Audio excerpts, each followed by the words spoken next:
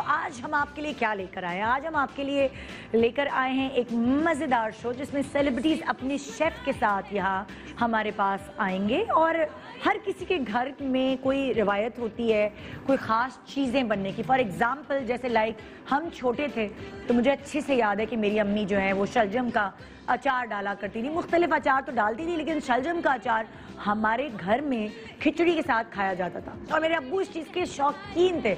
और ये मेरे अबू के घर में भी चली आ रही थी रिवायत। फिर जी, बहुत सारी ऐसी चीज़ें थी, जैसे मेरी अम्मी के घात के पाए खाने लोग आया करते थे हमारे घर पे।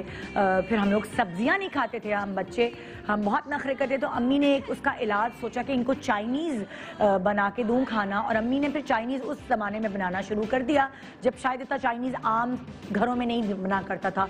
तो हमें सब्ज़ियाँ खिलाने की आदत उन्होंने चाइनीज़ खानों के थ्रू डाली। और उसी तरह होते होते होते, अब आज हमारे बच्चों के नखरे होते हैं। बच्चे कहते हैं, हमें देसी खाना नहीं खाना। हमें तो फलाना जिंगर बना के दो, हमें तो फलाना पिज़्ज़ा बना के दो, हमें तो फलाना पास्ता बना के दो। और उस चक्कर में चिराग लेके ढूंढना पड़ता है कि हाय, कोई ऐसा शेफ़ मिल जाए, कोई ऐसा शख्स हो जो, जिसको खुद भी शौक हो कि वो नए नए खाने बनाए।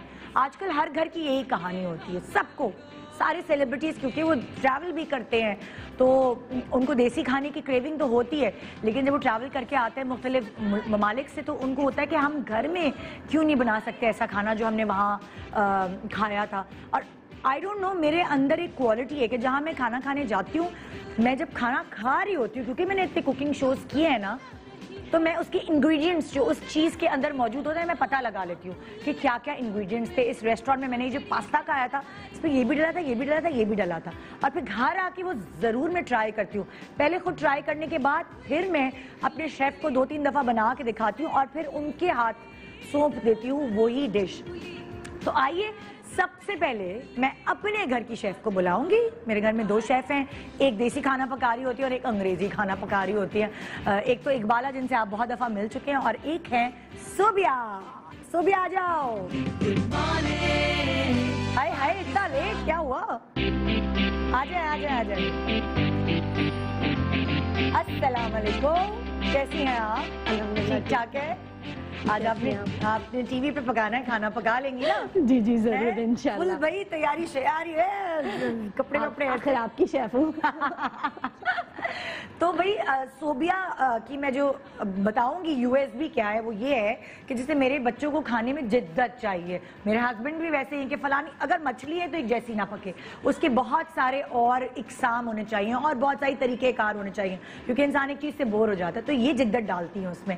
ये यूट्यूब खोलेंगी, देखेंगी अच्छा सालसा बनाना है ओके ये बना लूँगी। अच्छा ये जिंगर बर्गर बनाना है, ये बना। मतलब कि मेरे बच्चों, बस ये कह दें और वो कभी कभार लिंक्स भी इनको व्हाट्सएप कर रहे होते तो आजकल एक लेटेस्ट जमाना आ गया है कि व्हाट्सएप कर दो लिंक फिर ये व्हाट्सएप से जाती हैं उस पर लिंक लिंक पे यूट्यूब से देख के ना और जब मैं आती हूँ घर में अच्छा जी क्या पकाया है? फलाना फलाना पता नहीं क्या चीज़ पका दी है। ओह अच्छा जी कहाँ से देखा? यूट्यूब से।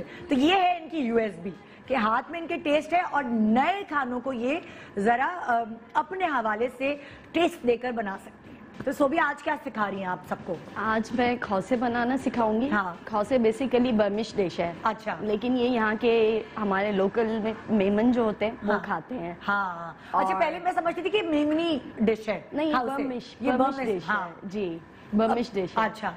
तो मैं खौसे बनाऊँगी हाँ। और बेसिकली मैं सिंधी हूँ। हाँ। तो मैं आज सिंधी स्टाइल की आप लोगों को फ़िश खिलाऊँगी। ओहो तो सिंधी स्टाइल फ़िश दरमिया सर्दियाँ भी है तो गरम फ़िश होती है वो अच्छा लगेगा मज़े का। तो हम आपको दो रेसिपीज़ जो हमारे घर में बनती है खाउसे हमारे घर में बहुत शौक से खाए जाते हैं और बहुत चटपटे मज़ेदार ये बनाती है वो खाउसे सीखेंगे आज आ, हमारे घर की रेसिपी और साथ फ़िश सिंधी फ़िश जी सर को जी जो सर को पसंद है।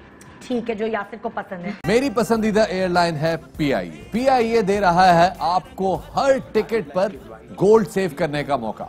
मेरी तरह आप भी पीआईए को अपने सफ़र के लिए मुंतखब करें और पाकिस्तान और उसके कौमी इदारों को मज़बूत और मुस्तकम करने में अपना किरदार निभाएँ।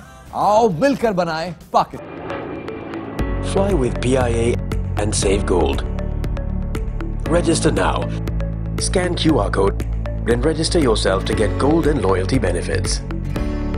Powered by ARY Sahulat Wallet.